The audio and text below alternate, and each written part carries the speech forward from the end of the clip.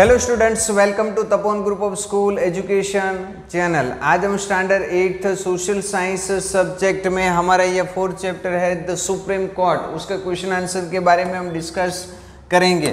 तो चलिए शुरू करते हैं। Question number one multiple choice question सबसे पहला where is the supreme court in India India के अंदर सुप्रीम कोर्ट कहाँ पर?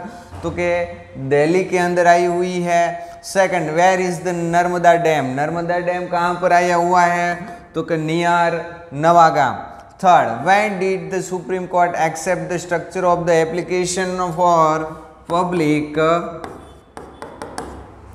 public welfare तो क्या आंसर आएगा 1980 उसके बाद fourth when was the supreme court establish in India Bharat के अंदर, भारत के अंदर सुप्रीम कोर्ट का एस्टेब्लिशमेंट कब हुआ था? तो क्या ट्वेंटी जनवरी 1950 उसके बाद fifth which state protested against the increasing the height of the Narmada dam तो कौन से स्टेट ने प्रोटेस्ट किया था? विरोध किया था? तो आंसर आएगा मध्य प्रदेश। उसके बाद हम देखें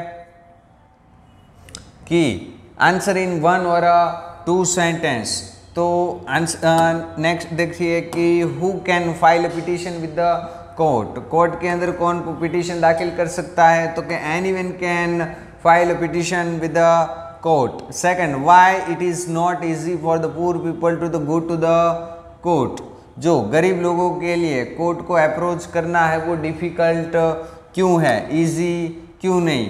क्यों हाँ it is very difficult for a poor people to go to the court अभी गरीब लोगों के लिए है। वो कोर्ट में जाना है, वो डिफ़िकल्ट है एंड दूसरा है कि जस्टिस की डिमांड करना, बराबर न्याय की डिमांड करना, वो उसके लिए डिफ़िकल्ट है बिकॉज़ दे आर इलिटरेट वो पढ़े लिखे नहीं हैं और दूसरा है कि how to earn their living on a daily basis और डेली बेसिस पर अपना जो अर्निंग उसको करनी पड़ती है। थर्ड देखे which states have been benefited by the Sardar Sarovar योजना के थ्रू कौन से स्टेट को बेनिफिट मिला?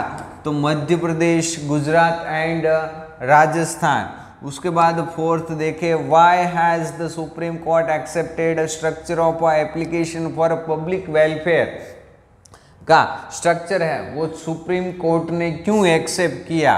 तो के जो पूर ऑल्सो गैट जस्टिस गरीब लोगों को भी न्याय मिले, इसीलिए सुप्रीम कोर्ट ने एप्लीकेशन फॉर पब्लिक वेलफेयर 1980 के अंदर एडॉप्ट किया। उसके बाद fifth what judgment did supreme court give on the Narmada issue Narmada issue पर सुप्रीम कोर्ट ने कौन सा जजमेंट दिया? तो ऑन मार्च एट 2006 के अंदर क्या तो कि सुप्रीम कोर्ट ने जजमेंट दिया कि ये सरदार सरोवर योजना है वो सभी के लिए बेनिफिशियर है और इससे जो तीन स्टेट गुजरात, मध्य प्रदेश एंड राजस्थान, इन तीन स्टेट को क्या होगा? तो कि इससे बेनिफिट होगा। इस तीन स्टेट को बेनिफिट होगा और जो ट्राइबल पीपल की हैबिटेशन का प्रॉब्लम है, उसको सॉल्व किया। जाए यह जजमेंट आया। था, वो नेक्स्ट क्वेश्चन के अंदर लॉन्ग क्वेश्चन के अंदर इसका आंसर आएगा। उसके बाद what is the other name of the Narmada project Narmada project का दूसरा नाम सरदार सरोवर योजना। इसका आंसर आपको टेक्स्ट बुक के अंदर डायरेक्टली दिया गया है फिफ्थ नंबर के क्वेश्चन का आंसर उसके बाद सिक्स सरदार सरोवर योजना दूसरा नाम नर्मदा केस है, वो किसके बीच में लड़ा गया था? तो गुजरात एंड मध्य प्रदेश। एट देखे what was the protest on the Narmada dam and why the Narmada protest is the height of the dam dam की हाइट के related because it is affected the tribal people and their habitat so because ये किसको effect करता था? तो कि tribal people and उसके habitat को अफेक्ट करता था। Ninth why is law required law की ज़रूरत क्यों क्यों है? कि law is necessary in a country for the safety and welfare के लिए, लोगों की सेफ्टी एंड वेलफेयर के लिए लो की ज़रूरत है। Tenth how is the judicial system of India is divided Bharat की जो जुडिशियल सिस्टम है, भारत की जुडिशियल सिस्टम किस तरीके से डिवाइड है?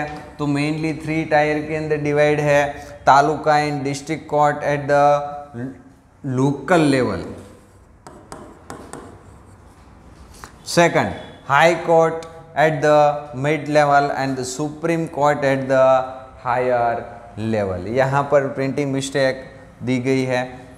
थर्ड देखिए give a brief idea of the judicial system of India का ब्रीफ आइडिया आपको देना है कि in our country the hierarchy of a court in is in a place to impart justice जो पदानुक्रम से हम कह सकते हैं कि जस्टिस की व्यवस्था है। It states with the starts it starts with the lower court known as a taluka court. Taluka court से स्टार्ट होती है which is succeeded by the district court और उसके बाद then comes the high court और उसके ऊपर क्या आएगी? Supreme court which is the highest court of the court of our country उसके बाद explain the how the supreme court work supreme court किस तरीके से वर्क करती है? तो supreme court protect the fundamental rights of the citizen supreme court है वो सिटीजन के फंडामेंटल राइट्स का प्रोटेक्शन करती है. And any one word it can and give final judgment और वो फाइनल डिसीज़न देने का काम सुप्रीम कोर्ट के द्वारा किया जाता है। Explain the case of the Narmada project का केस यहाँ पर डिस्कस कीजिए। तो environment environmentalist organisation and other NGO Madhya Pradesh के, ये जो ट्राइबल पीपल के राइट के लिए क्या कर रहे थे? तो कि प्रोटेस्ट कर रहे कर रहे थे कि नर्मदा डैम की हाइट है वो 110 मीटर से वो नहीं होनी चाहिए। They wanted to protest tribal people के राइट्स के लिए है। वो लड़ रहे थे क्योंकि इस प्रोजेक्ट से उसकी लैंड है। एंड उसके हैबिटेशन का प्रॉब्लम है, वो इंक्रीज हो सकता था।